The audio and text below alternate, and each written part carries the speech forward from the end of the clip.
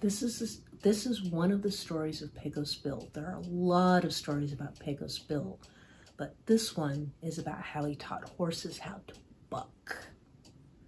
Now, sad as it may seem, at one time wild horses didn't know how to buck. They didn't.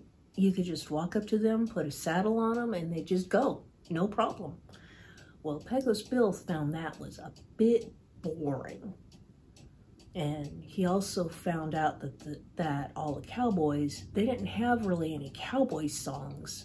All the songs they had were, were songs that they had learned from sailors.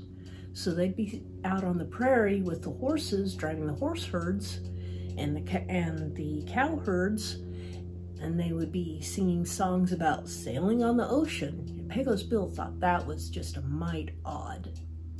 So he set out to get this fixed.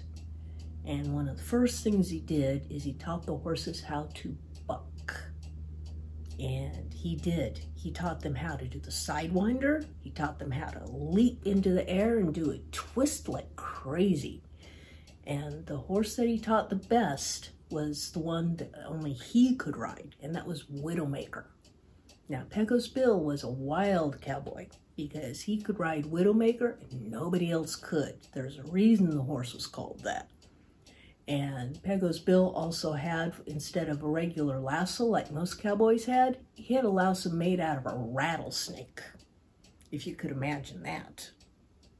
And he's taught all the cowboys how to sing proper cowboy songs, talking about the dusty trail and following, following the winding road and following the herds of cow.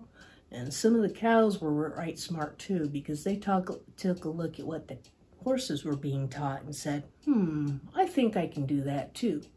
And that's how we ended up getting uh, cowboys trying to ride bulls. And if you've ever seen that, that is a mite scary thing to see.